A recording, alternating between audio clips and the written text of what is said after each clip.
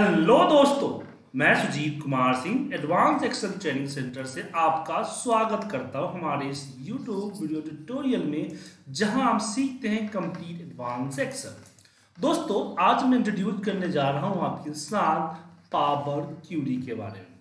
अगर आपने latest Excel का इस्तेमाल किया है 2013, 16 और 19 का तो उसमें एक पावर क्यूरी का ऑप्शन होता है। क्या है पावर क्यूरी चलिए इसके बारे में जानते हैं।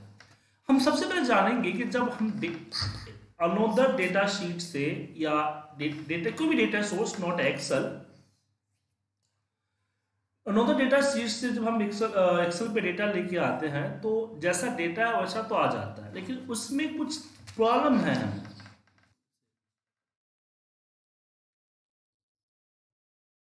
तो कैसे उसमें अपने हिसाब से चेंज करें?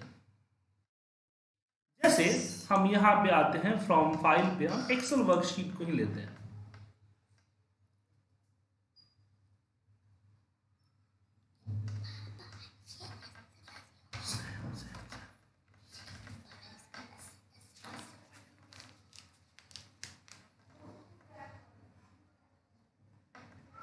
अब मैं यहाँ से अपना एक डेटा सिलेक्ट करता हूँ।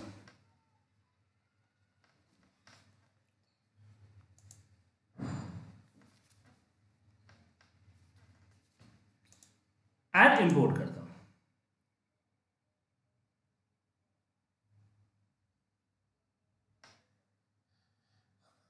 थोड़ा सा टाइम कंज्यूम करता है इंपोर्ट होने में तो थोड़ा सा इंतज़ार कीजिए।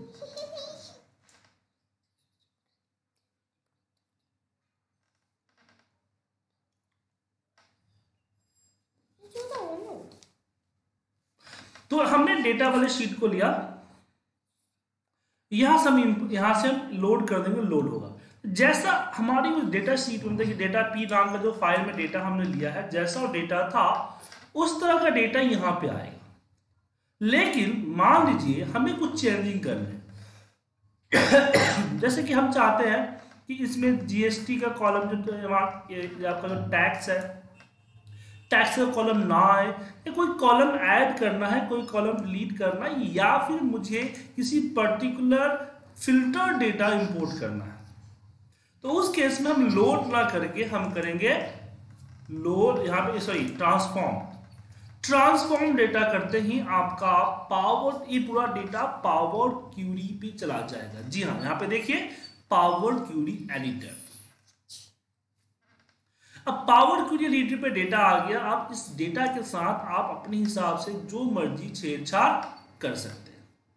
जैसे कि फॉर एग्जांपल मुझे इसमें सिर्फ़ ऑनलाइन डेटा चाहिए तो मैंने यहाँ पे फ़िल्टर लगाया और इसमें से सिर्फ़ मैंने ऑनलाइन को सिलेक्ट कर लिया। मुझे मान लीजिए इसमें हमारा जो कस्टमर की जो सीआईडी है, वो नहीं चाहिए तो मैंने इसको लिया और यहीं पे रिमूव कर दिया। और कोई कॉलम ऐड करना है तो ऐड कर लेंगे कोई फॉर्मूला लगाना है, कोई कैलकुलेशन करनी है यहाँ पे हम इसको कर लेंगे देन लोड एंड क्लोज पे क्लिक कर देंगे। अब जो मेरा डेटा लोड हो रहा है, वो डेटा जैसा मैंने चाहा है, वही डेटा लोड हुआ है।